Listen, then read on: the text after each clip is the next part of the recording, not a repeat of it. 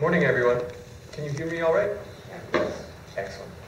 Um, good morning, and welcome to uh, the one of the first panels for Media Democracy Days 2016. My name is uh, Fred Visage, and I'll be uh, chairing uh, this morning's panel. Um, the topic, the theme is radical librarianship. Um, and we've invited a group of people, three societal stewards, who are independently filling the gaps of information access in diverse communities. And in some cases, they build bridges between sources of information and agents of change. In other ways, they carve out alternative avenues of learning, communicating, and connecting with the world around us.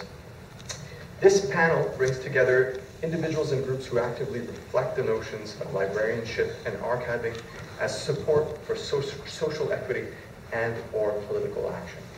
So we'll be introducing each individual um, uh, speaker as, as they come along. The, the format this morning is, is pretty straightforward. We'll, we'll have individual presentations from each of the, the uh, panelists. Uh, afterwards, we'll, we'll open up for uh, a panel discussion for about 10 minutes, and then we'll open it up to the floor uh, for questions. Hopefully that works for everyone. Yes? Excellent. Cheers. Okay. Well then, uh, without further ado then, uh, I'd like to start with uh, Melissa Adams, who's here. Um, she's a member of the Nisga'a Nation.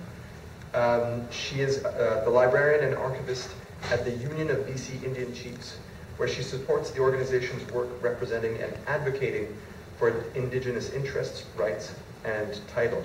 This includes managing the library collection, institutional archives, and digital resources, as well as providing reference services and training support to both members of Indigenous communities and other wider publics. So uh, I invite you all to welcome Melissa Adams.